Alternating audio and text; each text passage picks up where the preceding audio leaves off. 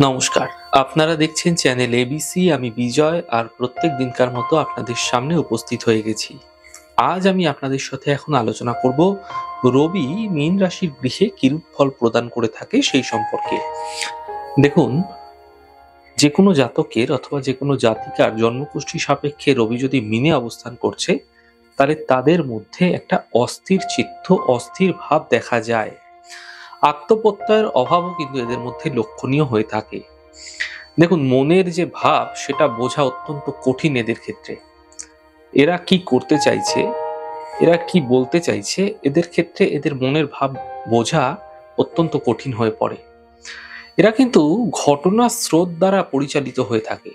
যেরকম ভাবে জীবন চলতে থাকে যেরকম ভাবে জীবনের গঠন বা জীবন, যেরকম ভাবে জীবনের মোড় নিতে থাকে বাঘগুলি, সেরকম ভাবেই কিন্তু এরা এদেরকে পরিচালিত করতে থাকে। অপরের সংস্পর্শে ভিন্ন সাফল্য লাভের আশা কিন্তু কম হয়ে থাকে। অর্থাৎ ধরুন দেখা যাচ্ছে কেউ প্রতিপক্ষ রয়েছে বা কেউ কাছের মানুষ রয়েছে, যে এর প্রতিপক্ষ হয়ে গেছে। তখন এদের সাফল্য লাভের যে আশা, সেটা ক্ষীণ হয়ে যায়, কমে যায়। জীবনে নানা রকম বাধা বিঘ্ন কিন্তু এদের লেগেই থাকে ছোট থেকে। অধ্যাবসায়ের অভাব এদের মধ্যে লক্ষণীয় হয়ে থাকে। এরা যে কোনো একটি জিনিসকে ধরে সেটার প্রতি একদম ফুল কনসেন্ট্রেশন লাগিয়ে ফুল মনোযোগ লাগিয়ে কিন্তু কাজ একদম অধ্যাবসায়ের সাথে করতে পারে না। এরা কিন্তু লক্ষ্যভ্রষ্ট হয়ে যায় খুব দ্রুত। প্রতিষ্ঠা সম্পন্ন বন্ধুর সাহায্য কিন্তু এরা জীবনে অনেকবারই পেয়ে থাকে, অনেকবারই লাভ করে থাকে।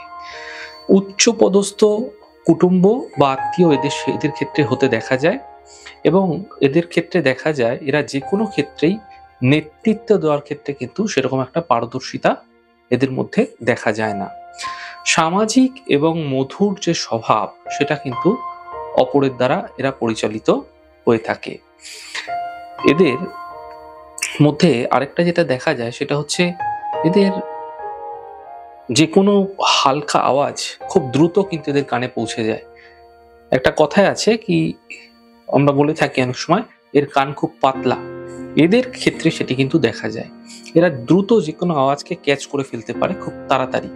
একসঙ্গে দু রকমের কাজ থেকে উপার্জনের একটা ইচ্ছা পোষণ করে থাকে এবং করতেও পারে এরা। বহু কর্ম পরিবর্তন এদের জীবনে হতে দেখা যায়। নানা কর্মে কিন্তু এদের লিপ্ত থাকতেও দেখা যায়। কেনা বেচা বা যে কোনো দরদস্তুর যে ব্যাপারগুলি থাকে দরদাম করার ক্ষেত্রে এরা ভীষণ পটু হয়ে থাকে। যে কোনো কিছু ক্রয় বিক্রয়ের ক্ষেত্রে এরা পটু হয়ে থাকে। স্নেহপ্রীতির ব্যাপারে কিন্তু এরা জীবনে বারবার মনোকষ্ট পেয়ে থাকে। একাধিক বিবাহ বা প্রেমের ব্যাপার কিন্তু এদের জীবনে ছোট থেকেই লেগে থাকে।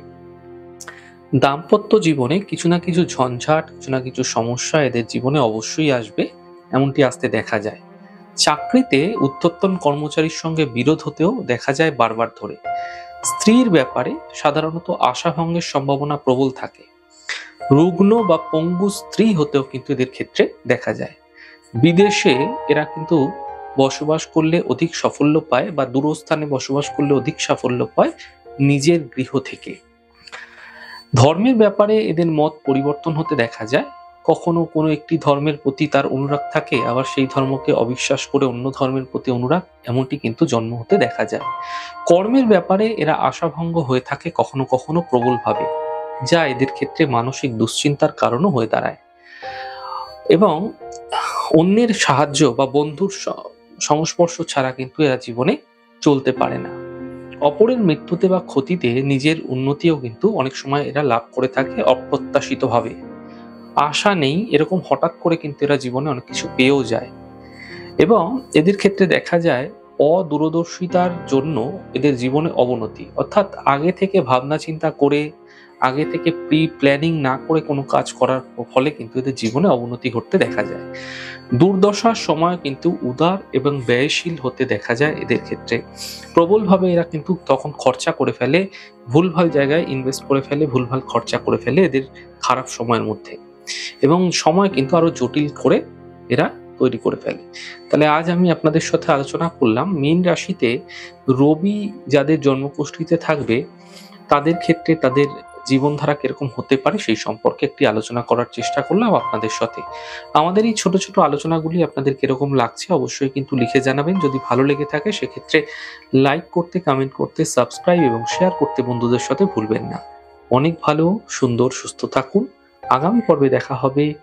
নমস্কার।